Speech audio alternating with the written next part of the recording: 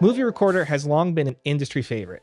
Its easy to use interface with source previews, naming tokens, and of course, the edit while ingest features, and has only become more powerful with REST API integrations, the custom HTTP web page support, and Apple scripting.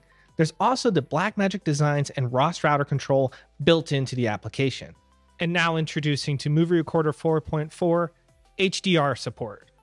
Now, Softron never left the Mac. That's 40 years on the Apple platform. We actually predate the first Mac computer by two years. And so our engine is heavily optimized for the new Apple Silicon. Previously, our encoding performance was a matter of how much this CPU could handle. On these new Apple Silicons, we broke this barrier and hit outstanding performances. In ProRes HQ, we could record 30 streams of 4K 60. And so one of the questions we always receive is how many channels can we encode of a certain resolution or a certain codec? The encoding is now more than capable. In fact, these results surpass what Thunderbolt and storage technology can currently do.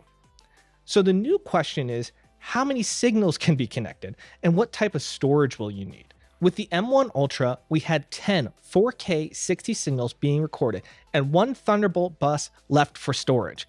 Combine MovieRecorder with our application Multicam Logger to log your camera cuts and mark your show for quick post production. Or stream your signal right from MovieRecorder to your streaming destination. Recording and playback both see great improvements from the new Apple Silicon, and what better application to prove that than M Replay? M Replay continues to be a powerful tool for affordable replay solutions, it is more for than just sports now, as we can easily time slip content for broadcasters. Our 25 hour record time and loop feature allow broadcasters to play back content and simply plug in the desired delay. And now MReplay supports closed captioning playback. And for live video playback, there's the on the air video HyperDeck emulation.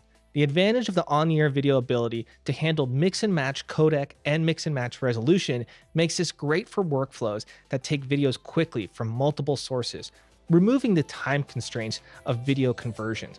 And so for all those reasons and many more, we think that's why the Softron solution for live production is the way to go.